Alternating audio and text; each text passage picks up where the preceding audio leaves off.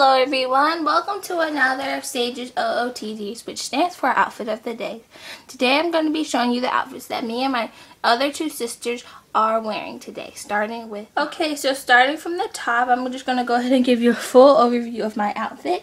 It's super cute and great for today, a shopping day, which I'm going to be doing. Alright, first I just have on this, I guess it's what we call a cowl necked um shirt. It's, it has no sleeves with a white tank top underneath. I just want to show you.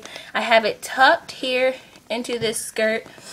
And um, it's tucked over here, but the cowl neck kind of hides that. Then I have on this skirt. It's just a A-line skirt I got for Christmas of 2012, I think or 2013. One of those, but we've had it for a while. It's super cute. I love the checkered print. It looks kind of old-timey, but put with the right um, shirts and accessories and shoes, you can really make it look really cute. Alright, um, this is also homemade. And I'm wearing my the Saige Cowgirl boots that the Saige dolls come with. Even though you can't get them if they're retired, they usually come with these now. So thanks for watching my outfit and let's go on to my sister Mandy's. Here's outfit. Mandy's outfit. I think it's super cute. Personally, it's it's adorable. Um, but she just has on a white t-shirt and then she has on this blue shirt. It's actually a, a one of those really soft socks shirts. And then um, she has on this denim vest on. It's super fitted, but it's super cute on Mandy's shape.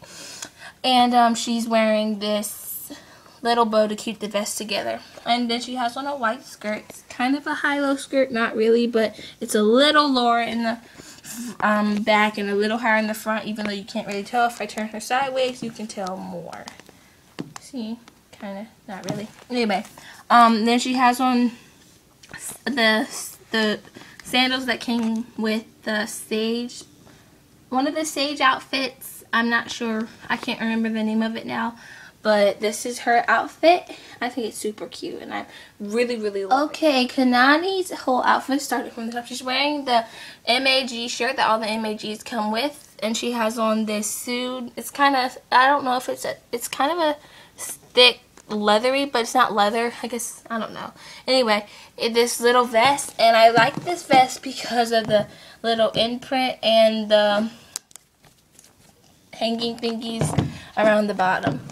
And she has on Stand Up Kanani. She has on this homemade skirt.